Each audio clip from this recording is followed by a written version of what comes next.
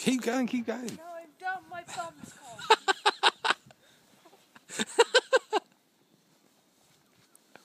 oh, that's a lovely one. You go take one, baby. As you can see, we had some snow last week, so I had my fun and I got down to business. It's Valentine's Day coming up, so I thought let's make a start on that and uh, check it out. so I come up with simple heart, intertwined, entwined rings with the names on. Lovely, lovely. Alright, so let's get to the drawing board. Right, Co- yeah, that's it. Right, let's start. Yeah, go, come on, mate. Right, let's draw a circle. It's very good. And then let's draw another circle inside That's very lovely. Lovely, right. So that's, that's, that's it. Find the centre. It's very good. And then from there, what you want to do is measure the diameter of the outside circle you just made. Yeah, those two, that's lovely. And then with that measurement, draw a line like that, that's it. Good stuff there, good stuff, right. Now, looking at that on your block of wood, like a saw. Very nice, very nice.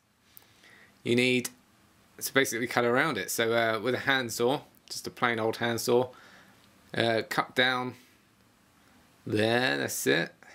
And down there, that's it. And remove that square.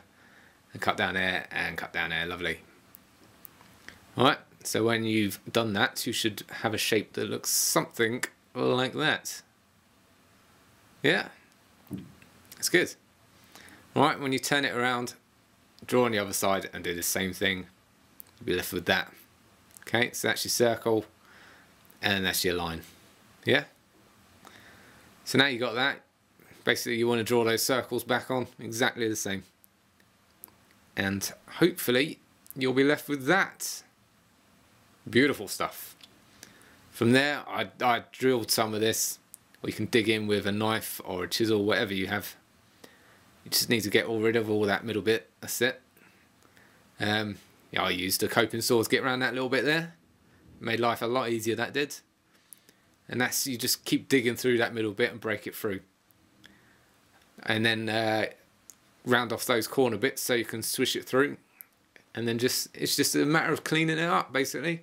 Getting down to your drawn lines, let's say. You can use a knife, sandpaper, chisels, doesn't matter what you use guys on this I chose to uh, round off the outside. So it's like a almost like a wedding ring on each one. You can do that or you can leave them as square like it was or round it completely over. Here I've taken a block of wood and divided it down the middle. So I can obviously draw my heart on there. It's looking good eh? Here I've taken a handsaw and just cut a V into the top. Get rid of some of that.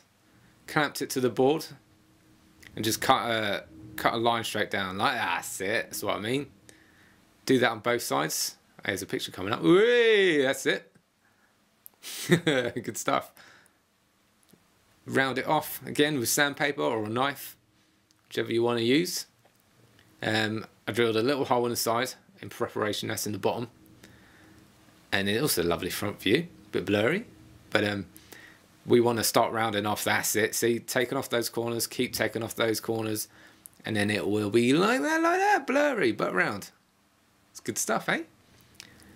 Final bit I just hung it on a bit of thread sprayed some Halford's lacquer on it. I hope you enjoyed that. Hope it goes well for you.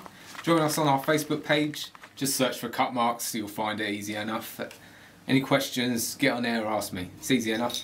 Um, I'm going to put a little hook in there so I can hang out. You can do what you want with it, mate.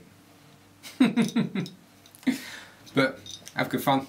Hope your birds like it. See you next time.